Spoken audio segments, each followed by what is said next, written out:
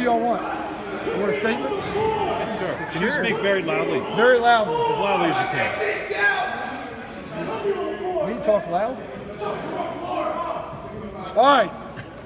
Well, as you heard, that was our 30th workout. We got two more to go. So right now we were freaking grinding, trying to finish this thing where we started, which is very well. Um, great group, great group. We've um, we obviously we played the game on December 31st. Uh, school started back up on January 8th. I wanted to give them a day off, a week off. So um, we had a discretionary week, and um, we can't. We're not allowed to train them then, and they all came in on their own and volunteered. It was awesome. So they are very motivated, and they've, they've remained that way the entire time.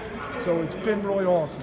I mean, obviously, you guys that have been around um, know that we're trying to run a very, very aggressive strength power uh, program in conjunction with the very aggressive movement program, and that's tough. That's tough. In the wintertime, typically, a lot of programs feel that's the only time they really have to really grind on the weight training, and they let they slack down, not slack, but they de-emphasize they de-emphasize the movement part, um, but here I believe that's really important. The strength and power without the movement is worthless for football. So we continue to do that. We ended up having we've had 15 uh, running workouts so far, and 15 weight trainer workouts. So it's been an even split. Uh, the weight, obviously, the running workouts take a lot out of you um, out in Holuba. So they've done a great job bouncing back every day, the next day, and getting a hard lift in, they're getting a hard run in. So I think one of the keys to this year has been consistency. They've been very, very consistent in everything they've done. Um, obviously, you see me trying to round some guys up. We have a lot of different initiatives right now to try to really work on recovery. Um, you know, Kayla Matrunik has been phenomenal as, as a new, new head nutritionist. She's got a class right now. She's she's got I got 14 guys. I got a bunch of various classes, uh, nutritional classes that she teaches every two weeks and that's been very beneficial because as you guys all know, it's 2018, and this won't do you any good at all if you don't sleep right, if you don't eat right, if you don't take care of your body. So those finer things is kind of what we're really trying to do to get over this hump and get where we need to go this year. Okay? Um, it's quieted down a little bit, so I guess we can take some questions. Can you take us through how some of the mid-year enrollees have done and uh, maybe the kind of the progress they've made since they arrived on campus? We have six mid-years uh, right now and they have been phenomenal. Uh, they're meeting with Coach Franklin right now, and um, they've been great. Uh, as you guys know, it's different coming in in January than coming in in June. Uh, you're kind of out on an island a little bit, and we're, the academic support and student services have done a great job integrating these guys in with all the different things they have going on. Uh, but from a strength and conditioning perspective, they've been phenomenal. Uh, we came in here, we, make, we tested them out thoroughly. After we did that, we just started cranking, and they, they joined right in. They were right in with the group right away. They've definitely all earned respect. They've all been accountable. They're all doing a great job in school. It's really a great group of guys. So we're really pleased with them, and we'll see. I mean, they're six months early, so we'll see what happens if uh, somebody could possibly help us this year. Can you speak to Micah in particular? A lot of eyes on him. Obviously, he's a high-profile guy. You know, Micah's done really well, and um, I think the one thing that, that Micah did when he got here, obviously he's a five-star kid and kind of renowned um, in the entire country. Uh, but one thing that Micah did here is when you come up here, the stars disappear. So Micah came in and did a great job, and the older players have been great mentors to him, and came down and instead of being the five-star, six-ranked kid in the country, became one of one of the guys. Um, you would never know by the way he acts. He works just like everybody else. He's fit in really well. Not a big talker, uh, but he's extremely motivated to be the best player he can be. So it's been really a pleasure. You know, I train the linebackers. Um, it's been really a pleasure training him. In the What's been the most pleasant surprise that you've seen over the 30 workouts to date? Um, I just think it's been it's the work ethic, it's the intangibles. Um, you know, the work ethic, the motivation, the consistency. Just every day, I go home, and tell my wife, you know, every now and then, in any place I've been, less here than anywhere else, but it always comes at a time you're to say, ah, they were just kind of flat today. I just haven't had one of those days all year. So I just think the consistency of just grinding at the level that they always grind has been, you know, the, the best part of this winter so far. Is that different from previous winters here? It's, it's a little, yeah, it's better. But we've always had great winters, but this one I think just kind of takes the place of, of the best one we've had so far. So it's our fifth one here, so it's been really good. The they're, mo- they're a motivated group right now very motivated. Kind of had that top tier in the past. Um, who's in it now? Any new additions? On uh, just as far as work, mm-hmm. you know, obviously, you know, DaeSean Hamilton kind of left his legacy with Juwan Johnson. And he is a train killer. Um, you know, he's done a great job, so he's one of our top top guys. Um, another guy that's uh, really done a great job is Will Fries, who, who played left tackle last year and came in as a redshirt freshman and did a really really good job. Um, uh, sophomore, Richard, sophomore tight end Danny Dalton has been phenomenal. He works on everything he does. That's three. Uh, one guy that, that's been really good that we're really he's just been dinged this entire career uh, is John Patrician. And John Patrician, uh, you know, has really paid his dues. He's had a number of situations, knocking on wood, and he's been healthy and he's doing a great job. He's really, really working hard. Another guy that's done a great job too is Lamont Wade. He was mid-year last year, came in, did a nice job last year, filled a nice role for us. Um, we obviously lost all four of our secondary guys uh, this past year, hopefully all to the NFL. And uh, I think Lamont's in there. Like he's like a he's like a piranha in a small pool right now. So he's really been phenomenal. I'd say that's our top five. John Reid active today. Um, how have you seen his bounce back effort? Getting Oh, he's been great. John's been great. Um, he's 10 weeks.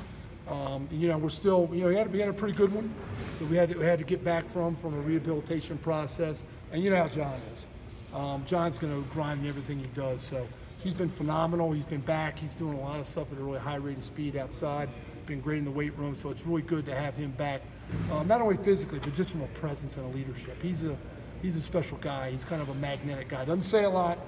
Just you know, when, when he does talk, everybody stops and listens. So he's been a very powerful, you know, addition to kind of get him back.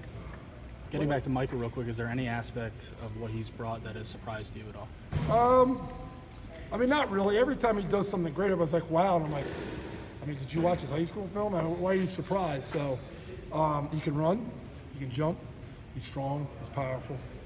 Um, you know, he's got all the ingredients that, that we would expect from him and that we saw in his film.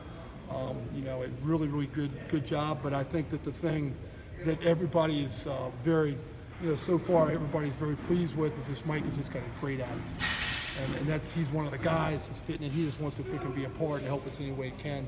And that that's been the that's been the part that everybody's really pleased about. Not that we were expecting anything different, uh, but you know, he's a highly renowned kid. To date, everything Saquon's done weight room wise has kind of been here. All of the stuff that's been eye popping. How much are you looking forward to seeing him kind of unleash himself on Indianapolis this week? Oh gosh, I know it's the, whole country's kind of talking about Saquon. For everybody here that's been watching, including you guys, it's kind of old hat for us. You know, we've already seen it. Um, we're all excited. We're excited for him. We actually have we have eight guys in the combine, I believe. So we're actually real excited for all eight of those guys. And, and then the good thing, as soon as they're done, a lot of them are going to come back. So I think that's good. we're going to have 21 guys at our pro day. Um, it should be a really, really good pro day. Um, we're really excited for Saquon. We, we know he's going to do really well, represent us and himself really well. So we're excited to see him, you know, put on what all of us already know he can do. You talked about lifting at the same time as running. Uh, where does flexibility for an athlete fit into that, and does that kind of help itself when you're doing both at the same time? Flexibility is, is all year. That, that's something you never scrimp on that. That that occurs whether you're just you're in a lifting mode, or in a running mode, in season, as whatever. So the flexibility thing is a constant, um, and we're doing it. Obviously, we want to get them more flexible. I mean, that's that's the, the main reason to do flexibility is get them more flexible, but it's also a good preventative for soft tissue injuries. So that's obviously something that we always try to really uh, maximize is our approach to to eliminating or, or restricting injuries to soft tissue. So it's been a big part of the program. What's the greatest growth you've seen in, in Miles? Last year, or maybe a couple of months. Leadership. I mean, Miles is stud. We, we've all, you know, we've got some really good running backs in this program, and we all, you know, after we talked about it, we've all kind of not forgotten, but they've certainly been in the back burner. Um, this kid's a special kid, and uh, we, we feel very, very good about what Miles Sanders brings us on the football field, but especially off the field. He's uh, the running back culture has always been one of our best positions culture-wise. They work hard. Um, they do what they're supposed to do. They care. They're good leaders. And obviously, Saquon was such a powerful presence. Um, he wasn't a big, loud, loud, obnoxious, you know, guy like that. Um, but just his presence was so strong that you, you couldn't help being in a position to kind of take a step back and let him let him go. Um, and Miles didn't hesitate. The second we started in January, he stepped right up. He's the, he's the leader of the room. He's really done a great job. Yeah, Mark Allen's done a great job there too as a fifth receiver. James mentioned it on signing day. Uh, a couple different guys, one dropping weight, one gaining weight. Zach putting on weight, and then Nick dropping the weight. How is that process going to where you want to see those guys? Zach, um, Zach Kuntz and, and Nick Tarburton. Oh, Um, kind of going opposite directions yeah. with their weight. it's it's been phenomenal. I mean, um, but that's I expect that with six guys. I mean, they came in, we evaluated, we analyzed them, and we said, okay, here's what you need. And you know, you gave a checklist, and they just check it off. I mean, okay. Um, so both of them been phenomenal about that. Um, we have six. I told you we had we had five. We got five nutrition classes, and the six guys have one. So they're getting some really good individual treatment from Kayla um, about you know maximizing that. So she's been a big benefit to making sure Zach's up, making sure Nick's down, Jesse's coming down a little bit as well, um, and then obviously you know with um, with Isaiah and, and Trent and those guys, uh, we really got to make sure that uh, you know they're they're strong and they're they're maximizing their lean mass. So it's been good watching that happen. They're, they're very motivated. Thank you. Good. Thank you guys. Appreciate